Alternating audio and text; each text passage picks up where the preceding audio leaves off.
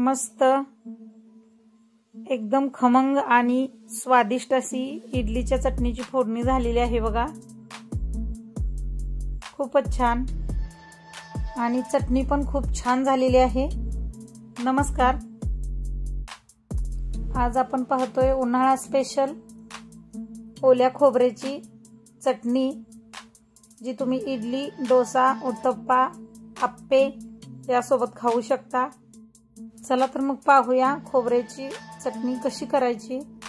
सर्वप्रथम एका मिक्सरच्या भांड्यामध्ये एक वाटी चिरलेले खोबरे घ्यायचे आहे.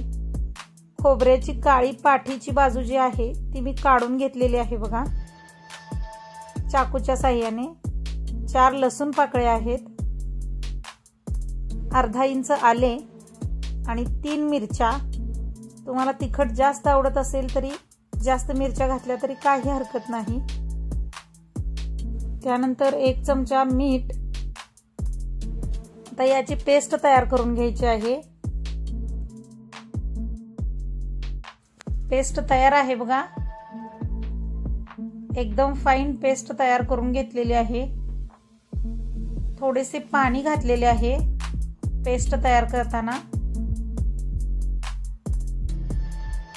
आता यामध्ये दोन चमचे दही मिक्स करून आणखी एकदा मिक्सर फिरवून घ्यायचा आहे. अशा पद्धतीने. आता टेस्ट करून बघायचे. मीठ आणखी लागत असले तर आणखी टाकायचे. एक चमचा मीठ मला पुरेसे झालेले आहे. आता हे एका भांड्यामध्ये काढून घेते. तुम्हाला जर पातळ चटणी हवी असेल तर पाणी मिक्स केले तरी चालेल. पण मी घट्टसर करणार आहे चटणी. आता ही फोडणी आहे बघा. चार लाल मिरच्या एक चमचा जिरे एक चमचा मोहरी आणि कढीपत्त्याची ही खमंग फोडणी. या चटणीवरती घालणार आहे मी. फक्त तेल गरम करून घेऊन त्यामध्ये हे सर्व फोडणीचे पदार्थ टाकलेले आहेत बघा. गॅस बंद करून कारण ही फोडणी करपण्याची शक्यता असते. त्यामुळे गरम तेलामध्येच ही फोडणी गॅस बंद केल्यानंतर द्यायची आहे. हे सर्व मिक्स करून घ्यायचे. तयार झालेले आहे बघा.